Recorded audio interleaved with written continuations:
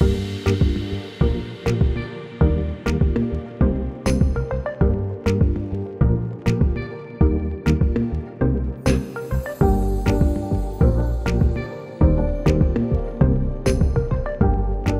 everybody, this is Ann. Today we're going to experiment with geometric pattern textures on mugs and a vase by making simple cuts out of this fine ribbed rubber mat that I purchased at the hardware store.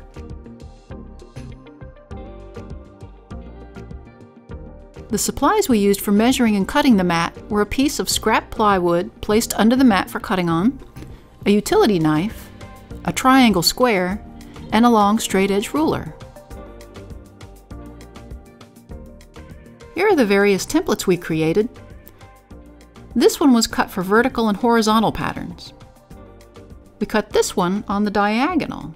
Here we mixed horizontal and vertical pattern pieces to create a contemporary feel. Next we cut strips diagonally opposed for a herringbone effect. Finally, we repurposed some old craft stamps that we had to create a horizontal and diagonal square stamp. We also created a hexagonal stamp that we thought might give us neat complex patterns. The first piece I made was a simple fine straight line texture for a hand-built mug. I rolled out a long thin quarter inch slab to work on. I created a 10.5 inch long thin template to block off the rim section of the mug. I placed the template towards the top of the slab, making sure to imprint the top edges of the template into the clay. I then placed a section of the rubber mat down, just overlapping the bottom edge of the template. I used a rolling pin to apply even pressure against the mat into the clay.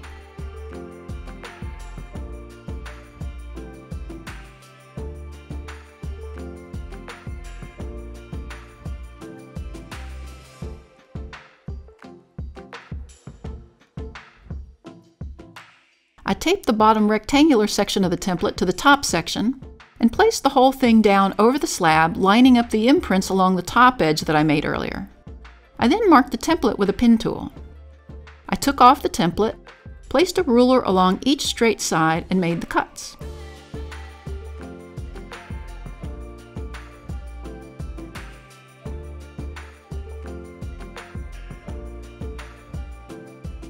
When I removed the clay, here's what I ended up with.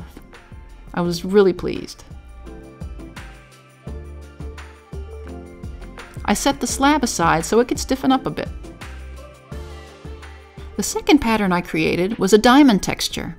I used the same technique with the long, thin template as the last mug, but this time I turned the mat sideways so the lines were on point. I then rolled the texture onto the clay. I picked up the mat and turned it 90 degrees so the lines were going in the opposite direction, again on point.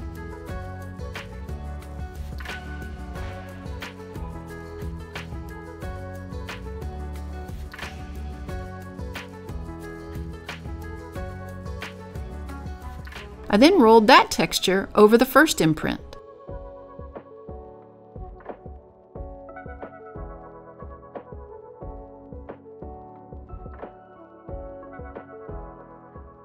First, I cut the mug template, leaving this cool pattern. I had a couple of tiny areas where the mat picked up the clay. It was easy to repair with a long edge of a needle tool like so.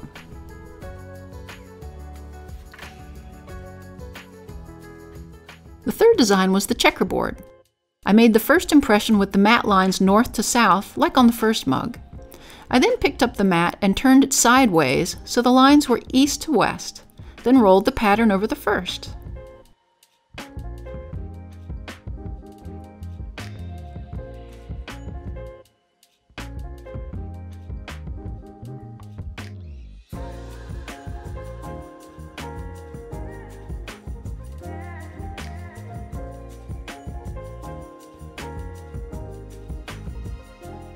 Fourth design is my favorite, the herringbone. We cut diagonal strips off the mat, flipping every other strip so that they created a zigzag pattern. We taped them together on the back, then proceeded to use it just like the other designs.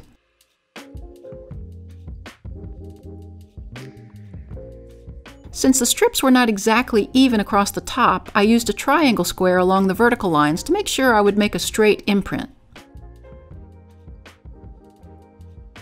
I then rolled the texture. Because the texture had opposing patterns, I found it was easier to pull up the mat working from south to north.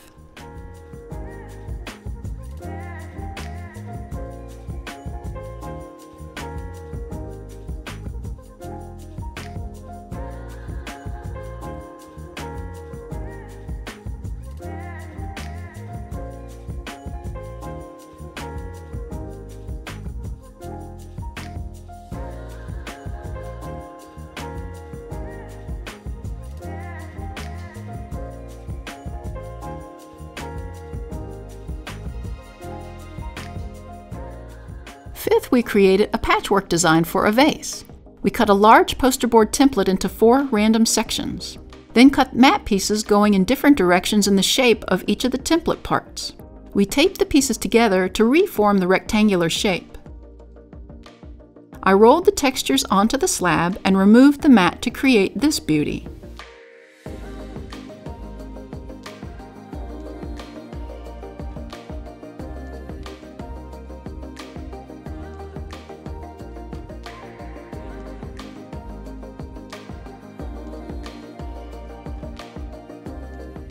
Like all the others, I set this aside so the clay had a chance to set up.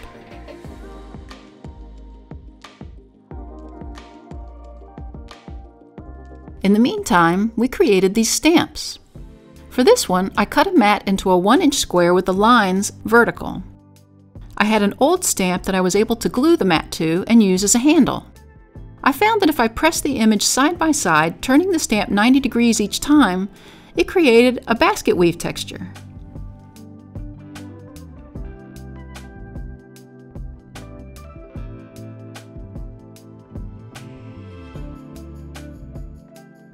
The next stamp was cut on point, like so. Luckily, I had another old stamp that I could glue the mat to. I again turned the stamp 90 degrees before stamping into the clay and created this beautiful diamond shaped pattern.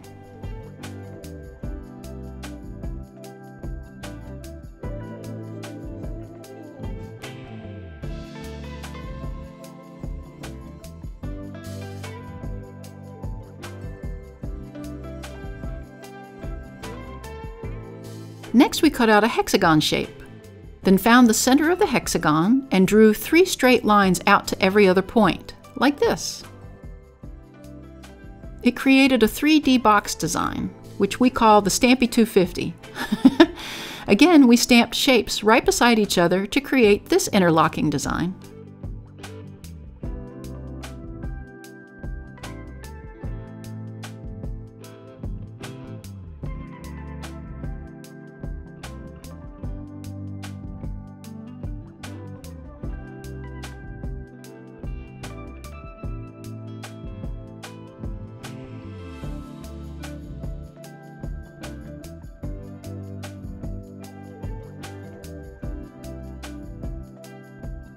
In addition, still using the Stampy 250, I impressed the stamp, gave the stamp a quarter turn, then stamped over the first imprint to create this pinwheel design.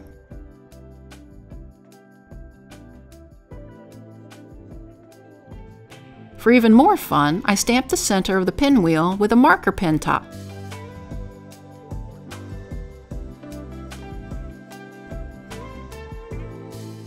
In the same vein, we took the square stamp cut on point and tried the same technique. I stamped in one direction, turned the stamp a quarter turn, then stamped again to reveal this design.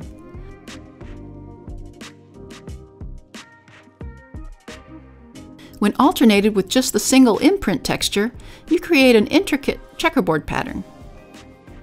Finally, just in time for the 2021 Olympic Games, we came up with this alternate to the checkerboard pattern the stars and stripes. now that the clay is stiffened up, we can construct the mugs in the vase. I used a PVC pipe covered with plastic wrap to round the clay.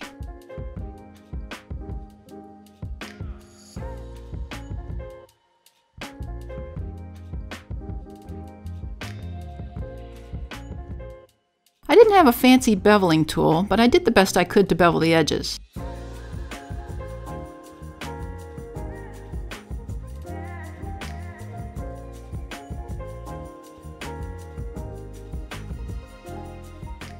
I then scored and slipped the edges.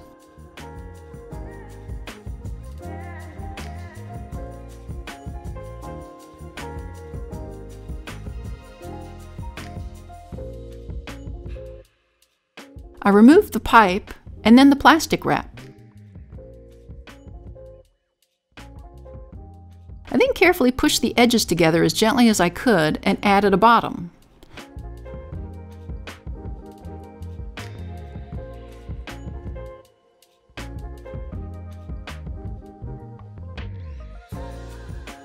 Some of the textures were more difficult to line up than others, so for some of them, I left a solid section where the joint was.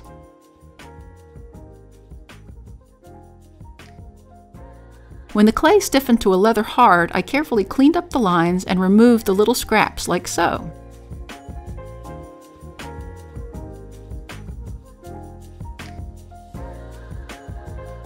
Then I attached the handles.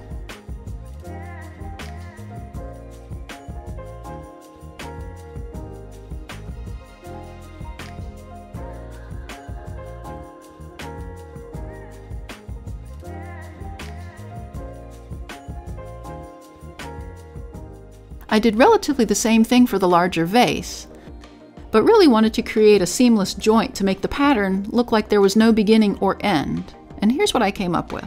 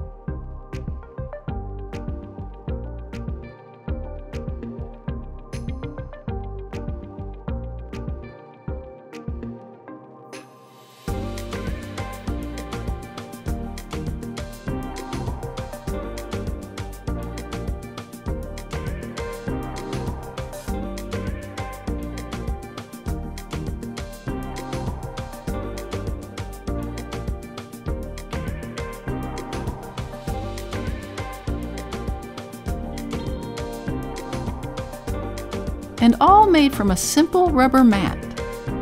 If you liked our video, we'd appreciate it if you would like, share, and subscribe to our channel. See you next time in the studio.